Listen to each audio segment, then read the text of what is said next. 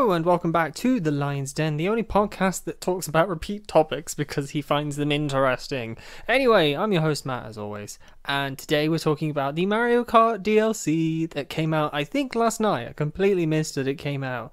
I saw the announcement video for it and was like, oh, this looks really exciting because I saw what all the tracks were, and I thought, oh, this is a really good selection, plus there's the new track, which is cool and then I completely forgot about the date as to when it was released. So I think it was released yesterday or overnight. Whatever. I downloaded it this morning. I've been playing it at lunchtime and I have some thoughts. Let's put it that way. So today's episode is just going to be walking through all of the new tracks that have been added. And yeah, let's start, shall we? So they've continued continued their tradition of releasing a tour track a new track and some retro tracks, which I'm really glad that they're doing the tour tracks because the tour tracks are beautiful. And I think Nintendo understood the idea that when the mobile game goes, when that's obsolete, when the servers shut down, all of those amazing tracks are gone. And to be honest, I played Tour not a lot because I kind of couldn't get into it, but I really did enjoy the challenge modes. I loved the fact that there was a million customizations. That was super awesome. And I really enjoyed the challenge modes where it was a bit like the Mario Kart DS mission mode.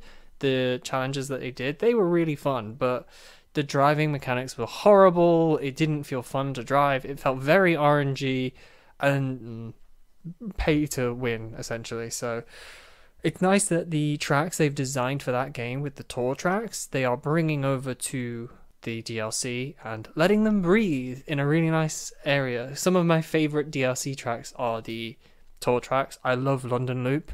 The song, the layout, the way it drives, so good. So I'm very glad. That means we start off with Athens Dash, which I didn't even know they'd gone to Athens in Mario Kart Tour, so that's insane. But Athens Dash is nice enough. It's a nice sort of tour through the capital and it's very pretty. There's a lot going on in terms of the terrain and routes and things to do.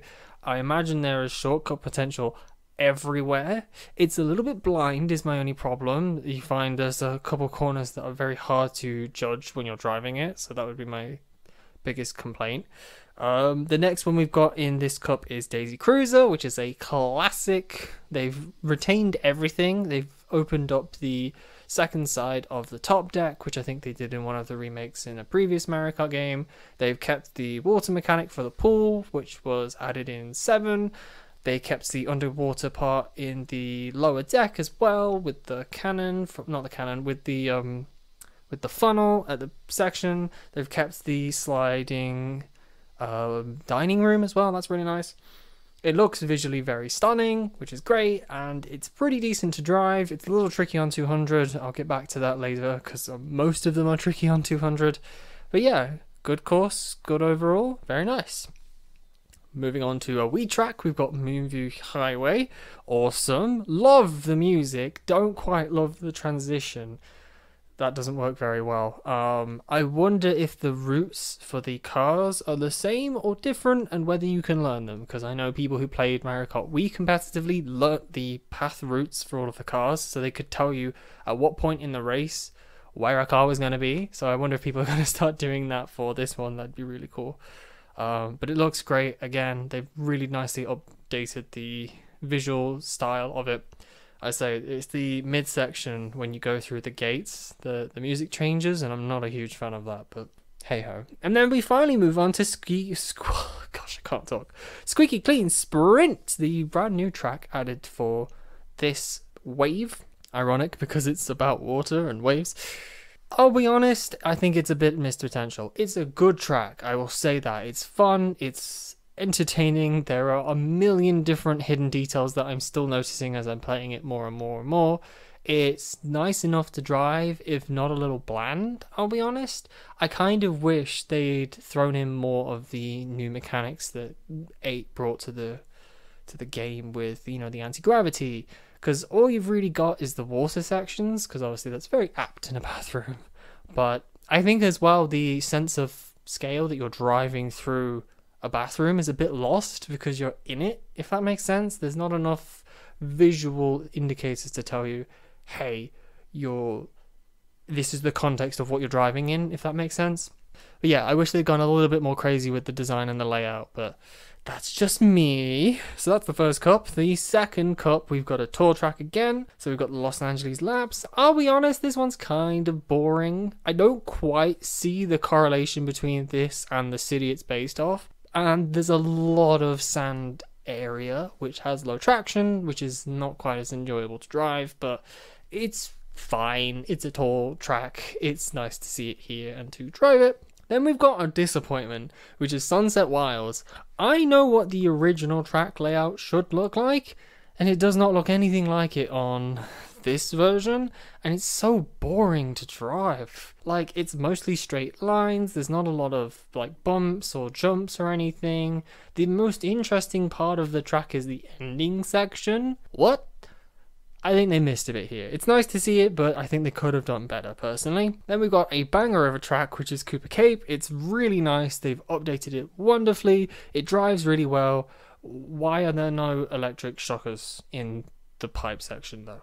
Why did you remove those? What was the point of that? They added a nice little half pipe and some spin boosters, but there's no danger to it now. Where where where was the crazy zany? Oh no, I've been zapped in first place other than that, it's a pretty good track because it was a good track in the base game. So, yay! I don't know what else to say about that. And then finally, Vancouver Velocity, which is far, far and away the most interesting track because they actually added stuff to it. They added the anti grav section, there's flying, I think there's a water section, and the bit with the ice rink. This is a really nice track, really fun and entertaining to drive.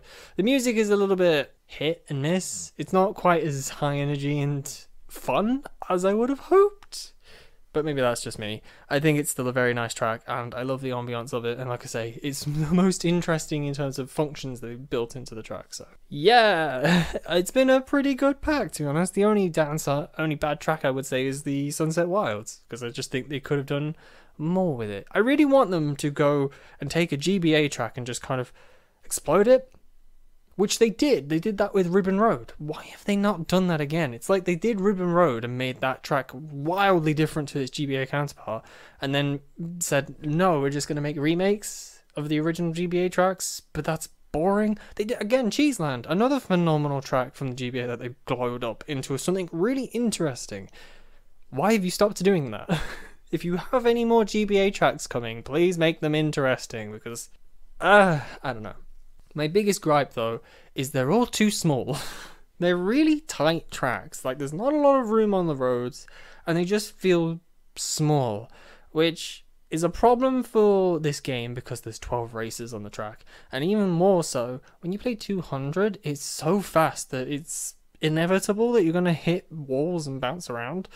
I think something went wrong when they were scaling the tracks, and I wonder if they'll fix that or not. Maybe they don't realize it's a problem. Maybe they will, and they're working on it. I don't know, but it just feels like everything's a little bit too small to work properly. Like on 150, it's okay. You notice it, but you can work with it. But on 200, you're like a pinball machine. You're bouncing around all over the place, and that's what bothers me. Is like I think on is it Los Angeles Loop, um, or laps rather Los Angeles laps. The sidewalk, as they say in America, um, is raised and it is a hard wall. So when you're on 200 driving the tight street sections, you hit a wall, you're bouncing everywhere, you're losing speed, you're out of control.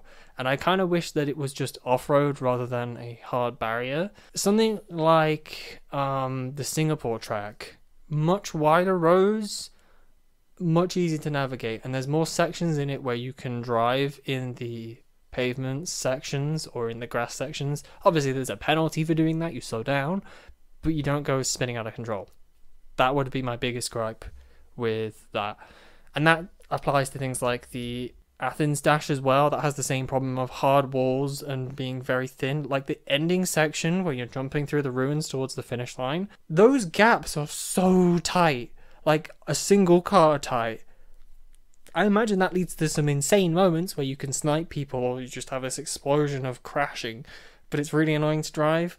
So, yeah, I think they missed a little bit there. But otherwise, I think this has been a pretty good selection of tracks. Um, I imagine I just need to get good with 200 or maybe figure out a better car combination. How could I forget The new characters. I couldn't care less about them. Petey Piranha, great to have because he was in Double Dash. The Wiggler, why? Why did you bring that back from 7? Nobody wanted the Wiggler. And then Kamek. Kamek's fine. I could have thought of other people that I'd have preferred over Kamek, but what are you going to do about it? Anyway, I'll be sticking to Roy, my boy Roy. He's so fun. He's so cool and cocky, and I love it. anyway, what do you think? Have you played the new tracks? Are you enjoying them? Some of the music is really good because it's Mario Kart 8 and they slap with doing music. Anyway, I hope you've all enjoyed listening. Have a great week, and I'll see you all next week. Bye!